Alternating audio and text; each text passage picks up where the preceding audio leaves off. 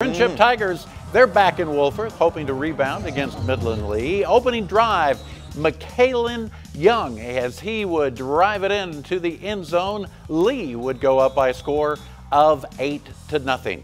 It was all the Rebels in that very first quarter. Quarterback Shamar Davis would air it out to Nate Suttle and uh, outrunning the Tigers for the score. Frenship not giving up though. It was William Bayouth as uh, after we see the celebration, William would roar past the defenders. That's what Tigers do best, mm -hmm. putting the Tigers on the board. But it wasn't enough. Frenship would fall again at home. The final score 50 to 21.